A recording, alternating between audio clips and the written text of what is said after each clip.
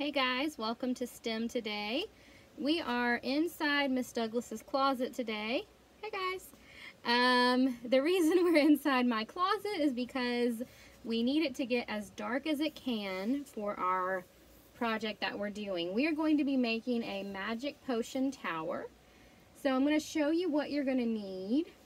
And if you don't have all of this today, that's fine. Just watch and it's really kind of just a cool thing to watch. So the first thing you're going to need is a vase of some sort, something kind of tall and clear. And you're also going to need some corn syrup. You're going to need some baby oil. And you're going to need some tonic water. And it's important that it has, um, I don't know if you can see it, quinine right here. And you're also going to need some neon paint. You're to need some glitter. You can. It doesn't really matter if you have that, but it's kind of fun. You're to need a dropper. And you're also to make some what we're calling glow water. Now your, your glow water, mine's pink. It's kind of hard to see because if I tilt it, I'll spill it. But you're to take a highlighter that you don't need anymore. And you're to bust it open and you're going to put it in a cup of water for probably a few hours and let that color just kind of explode all into the water. Then you're going to take what is going to be called um, glow corn syrup or colored corn syrup. And you, again, you can't really see because it's deep in the cup, but it is pink just like my glow water.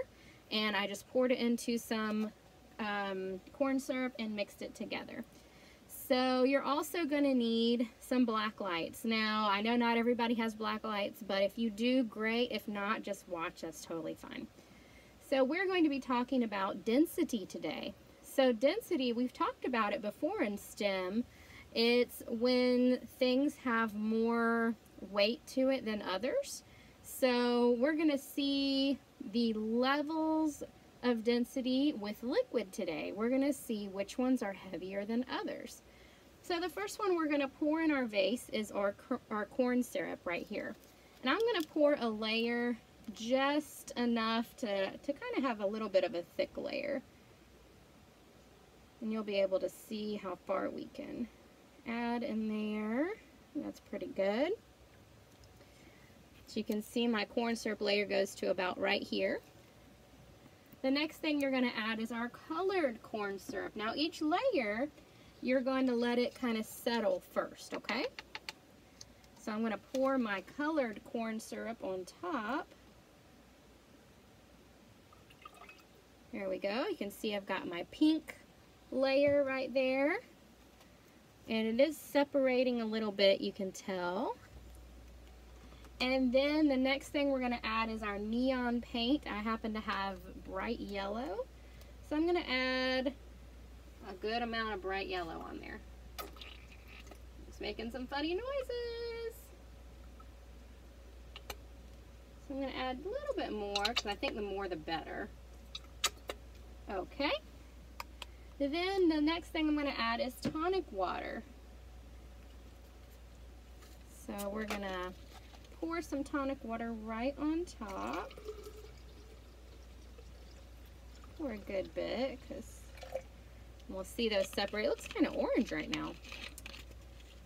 And the next thing we're going to add is our glow water. So our glow water is that pink highlighter water that I made. And hopefully this will all separate and look good. We'll see.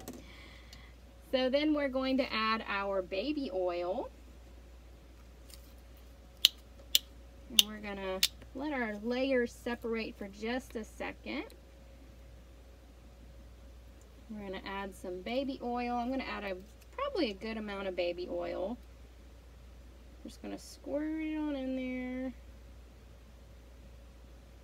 There's not really measuring to this. It's just kind of fun and layering and just seeing what happens with all those layers.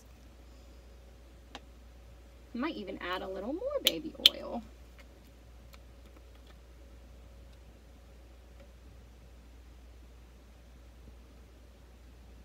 Okay, we got a good amount of baby oil in there. You can see my paint is at the top. And we're going to add some glitter and a little bit, but not yet, okay?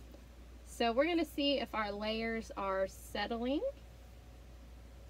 And so now this is the fun part. And let's see what happens. I am gonna turn my black lights on. And then I'm gonna turn off the lights.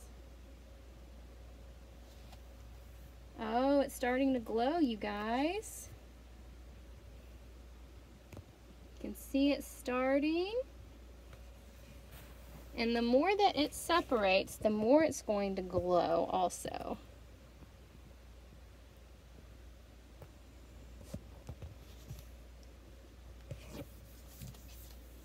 And sometimes I move my black lights a little closer, that might help a little bit too.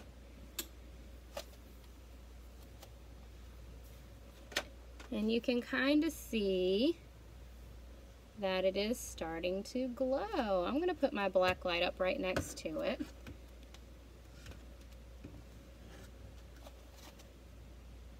And you can see that the colors are really starting to get really bright.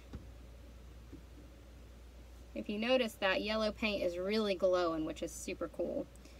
The cool thing is tonic water and highlighter are both substances that glow. So I'm going to try with my dropper real quick and I'm going to add a little bit and see what happens.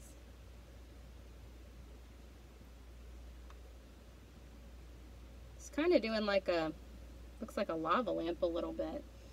Now I'm going to add in my glitter. It's kind of like I'm a mad scientist just having a whole lot of fun right now.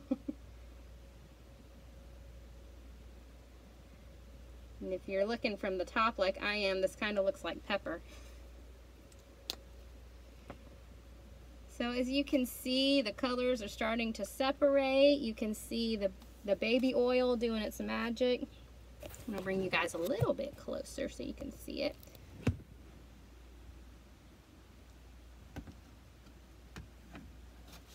And there is the glitter starting to do its thing and separate. You can see the corn syrup on the bottom that's separated now. And all the colors and things doing their own thing. It's much cooler in person, I will say that, because it's kind of like my own personal lava lamp.